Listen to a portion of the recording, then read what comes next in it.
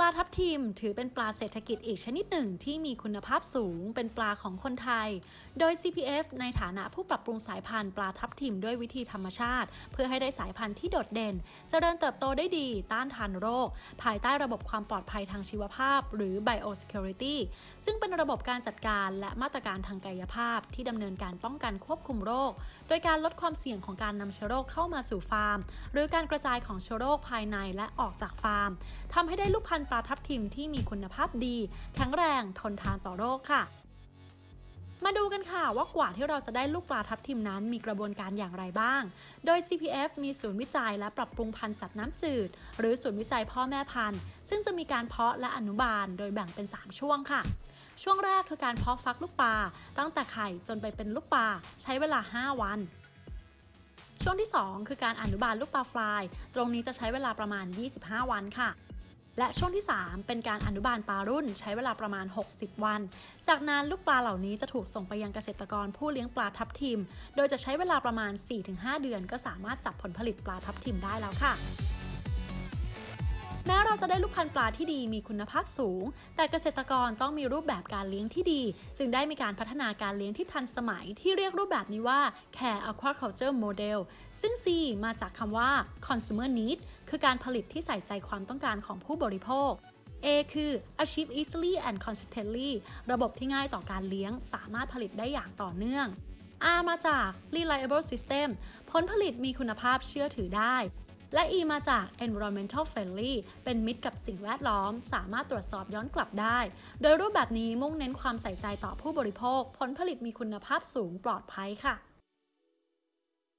จากแนวคิดที่ว่าเกษตรกรจะได้รับการดูแลใส่ใจนะครับ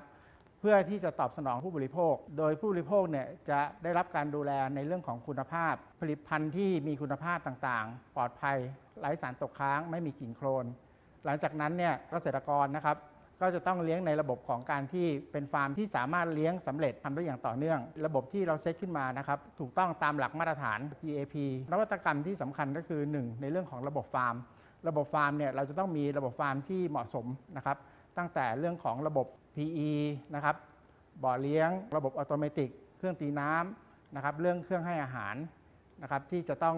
อถูกต้องเหมาะสมกับเรื่องระบบการเลี้ยง จากนั้นในระบบการเลี้ยงเองเนี่ยเราก็ต้องเป็นระบบการเลี้ยงที่มีความปลอดภัยนะครับกับผู้บริโภคช่วยให้เกษตรกรเนี่ยเลี้ยงประสบความสำเร็จได้ ซึ่งระบบนั้นเราเรียกว่าระบบ probiotic farming จะต้องมีการใช้จุลินทรีย์ จะเป็นจุลินทรีย์ที่มีประโยชน์ ทั้งในน้ำแล้วก็ในอาหารครับจุลินทรีย์ตัวนี้จะทำให้ปลามีความแข็งแรง ซึ่งถ้าปลามีความแข็งแรงเนี่ยเขาก็จะมีความต้านทานโรคที่ดีนะครับแล้วก็ มีการเจริญเติบโตที่ดี มันก็ทำให้แข็งแรงโตไวนะครับได้ปลาที่มีรสชาติที่ดีมีเนื้อมากนะครับมีความอ้วนนะซึ่งจะส่งผลทำให้ผู้บริโภคเนี่ยได้รับสินค้าที่ดีไปบริโภคครับ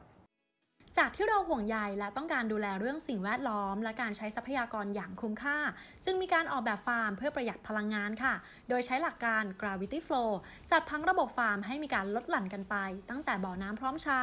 บ่อเลี้ยง บ่อตกตะกอนและบ่อปรับปรุงน้ำให้สะอาดด้วยพืช และมีจุดสูบน้ำกลับเพียงจุดเดียวค่ะนอกจากนี้แล้วยังมีระบบน้ำหมุนเวียนหรือ recycle เพื่อให้มีการใช้น้ำให้น้อยที่สุด โดยน้ำที่ผ่านการเลี้ยงมีการตกตะกอนและทำให้น้ำมีความสะอาดด้วยพืช จนมีความเหมาะสมในการเลี้ยง และสามารถหมุนเวียนนำน้ำกลับมาใช้เลี้ยงได้อีกครั้ง จึงช่วยลดการใช้น้ำเทียบกับการเลี้ยงแบบปกติได้ถึงร้อยละ 80 เลยทีเดียวค่ะ นอกจากนี้นะคะยังได้นำเทคโนโลยีที่ทันสมัยทั้งระบบ IT Automation และ IoT